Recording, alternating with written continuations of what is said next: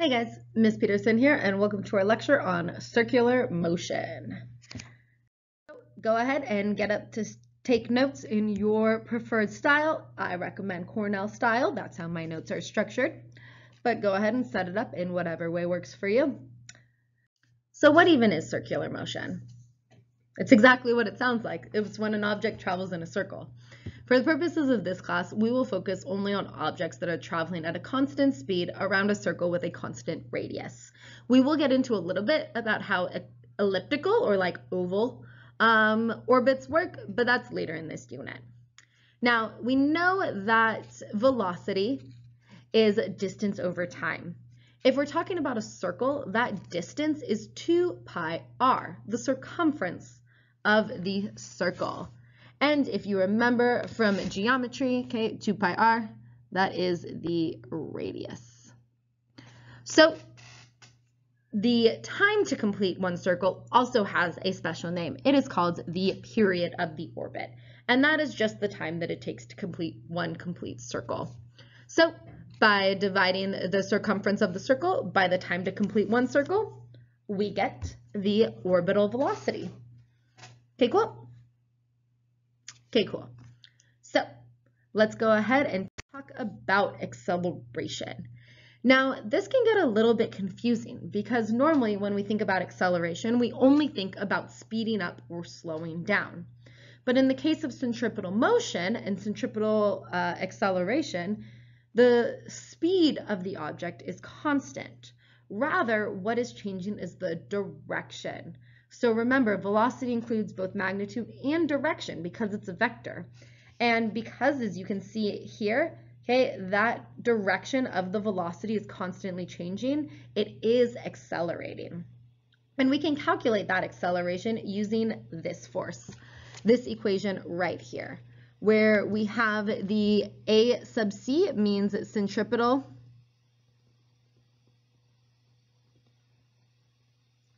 acceleration, okay? So the acceleration at any single moment in time, this is usually in units of meters per second squared for this class. Um, if you take more advanced physics later on, you will actually, you can actually measure it in degrees as well, like how many degrees it's moved in the circle, okay? Velocity is just that, the orbital velocity and that gets squared, and r is the radius, typically in meters, and velocity is meters per second squared. Now, the derivation of this formula is a little bit confusing because you're probably thinking, wait, but acceleration is always change in velocity over time. Why is this velocity squared over the radius? And the proof for it is a little complicated. Uh, much of the proofs rely on calculus, but there are some great geometry proofs of that. They're just a little too much for this lecture, but I will give you guys those and you can look them up on YouTube, derivations of the centripetal acceleration, to show you how this equation is actually the same as change in velocity over time for an object in circular motion. Okay, cool. Okay, cool. So now let's get on to centripetal force. Now, centripetal force is an inward force okay? It is always an inward force that causes objects to move in a circle.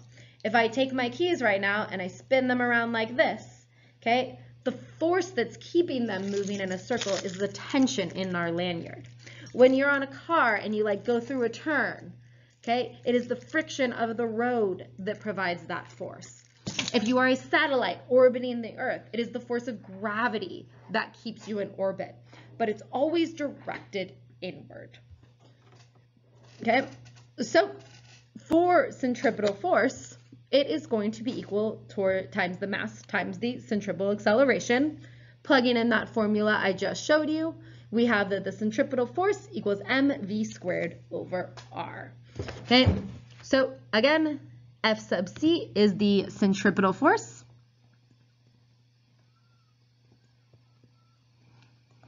M is the mass, V is the velocity, and R is the radius.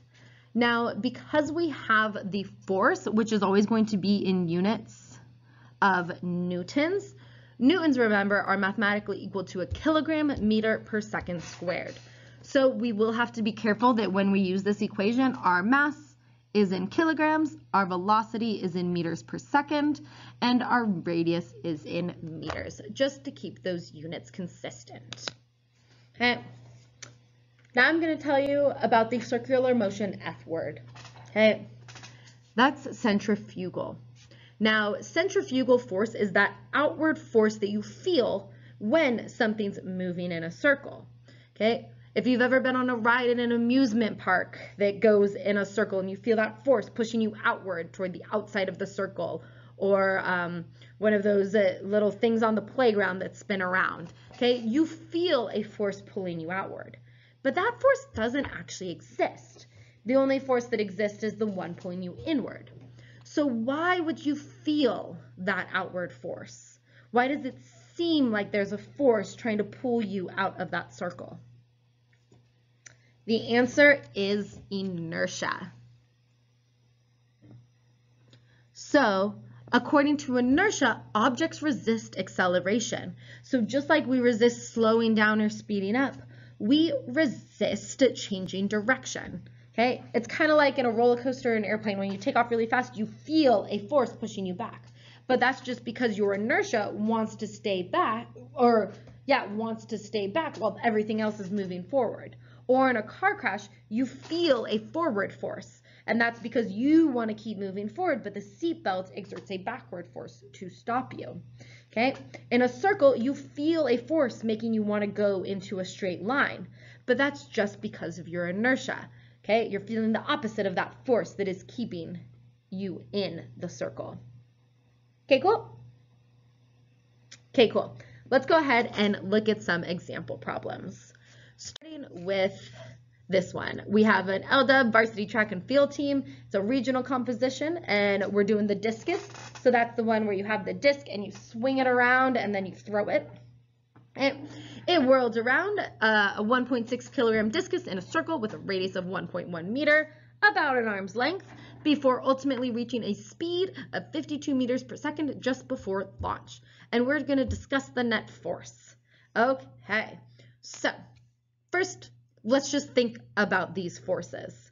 Okay, on that discus, we have the force of gravity, and he's applying a force to keep it like held up against gravity and those ones are going to cancel out.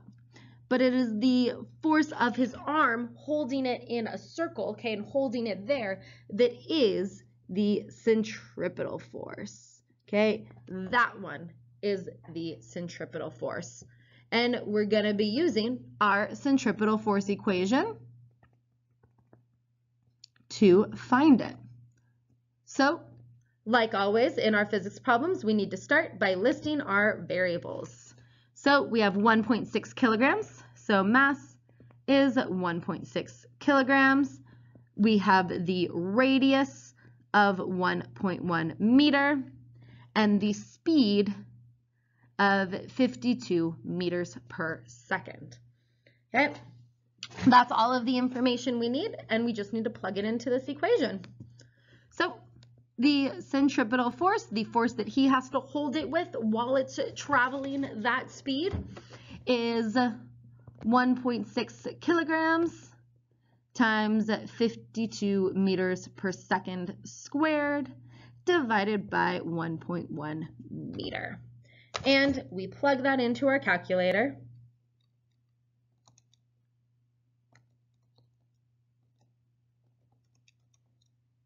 and we get a net force of 3,933 or 3,933.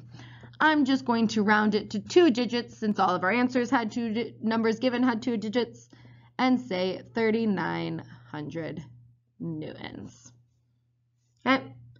And just so you guys can see how those units work out, we have kilograms and then meters per second squared, so meters squared over second squared, divided by meter. That meter cancels out with that one, so we're left with kilogram meter per second squared, which is mass units times acceleration units. Okay, mass times acceleration, F equals ma. Those are newtons, our unit for force. Okay, cool.